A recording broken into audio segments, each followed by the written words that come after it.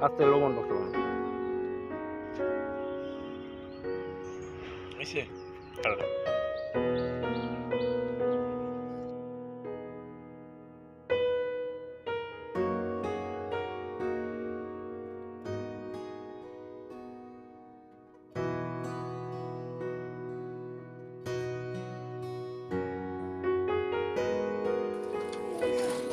কান্দিনা কান্দিনা কান্দিনা কান্দিনা কাঁদলে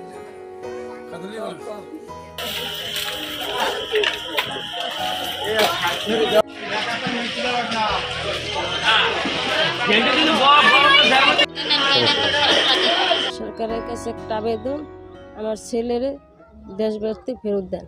আমার পোলা নির্দোষ আমার পোলা তিরক চাই আমার পোলারে ধরি লই গেছে। আমার নাতিরা বাতে কষ্ট পাই মাছ বাইঙ্গা খাই আমার আব্বু কর্মচারীরা আমার আয় না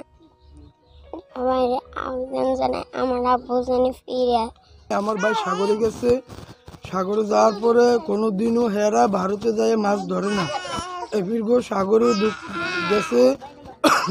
কুয়াশায় কুয়াশায় না চিন্না সাগরে ভারতের ভিতরে ঢুকে গেছে। তারপরে হ্যাঁ গো আটকাইয়া রাখছে জিওলো দিছে। জিওলো দিয়ে আমার ভাই খুব কষ্ট আমরা অনাহারে না খাইয়ে একবেলা খাইলে আরেকবেলা খাইতে পারি না গোড়াগাড়া লইয়ে কষ্ট। কষ্ট তাদের ও কষ্ট তাদের কি ঘুম আমি ইয়াতি কষ্ট, বাবা, আমার ঘোরা গেল নাতি উঠি তিন চারটে বাচ্চা লই আমি নিজে ভিক্ষা করি শ্বাস বাড়ি আমার, সুস্থ মানুষ। আমি নিজে খাসি খাসি থাকি যে মানুষ।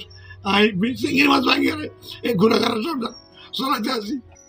বাজান তোরা আল্লাহর আসতে আমার গোলা বান্ধব তোরা সুযোগ সুবিধা লই আল্লাহর আসতে আর বাংলাদেশে তোলা বান্ধব একটু আন্না দিবে বেশি। মেহরবানি বে বাবা আমার দুটা তিনটা চারটে ঘোরাঘার নাতি নানায় অনেকের মধ্যে আছে।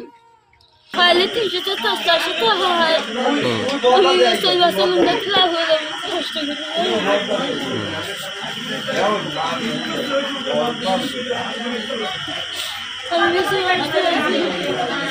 কলাপাড়া উপজেলা লতাচাপলি ইউনিয়নের পনেরোটি জেলে পরিবার মানবতার জীবনযাপন করছে। তাদের কাছ থেকে আমরা জানতে পেরেছি যে তাদের পরিবারের প্রধান মৎস্যজীবী হিসাবে মাছ ধরতে যেয়ে এখন পর্যন্ত ফেরত আসেননি। আমরা শুনতে পেরেছি তারা প্রতিবেশী রাষ্ট্রের কারাগারে হয়তো অবস্থান করছেন।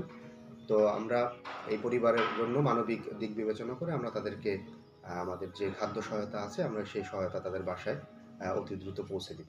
কলাপাড়া উপজেলার দুইটি নৌকায় পনেরো জন জেলে, ভারতীয় জেলে আট- আটকা আছেন। সেজন্য আমরা তাদের খবর পেয়েছি এবং আমরা আমাদের এই জেলেদের তালিকা ইতিমধ্যে কাজ শুরু করেছি তালিকা করার কাজ এবং এই তালিকা করার পরে আমরা আমাদের ঊর্ধ্বতন কর্তৃপক্ষ এবং আমাদের মন্ত্রণালয়ের সাথে আমরা যোগাযোগ করার চেষ্টা করছি।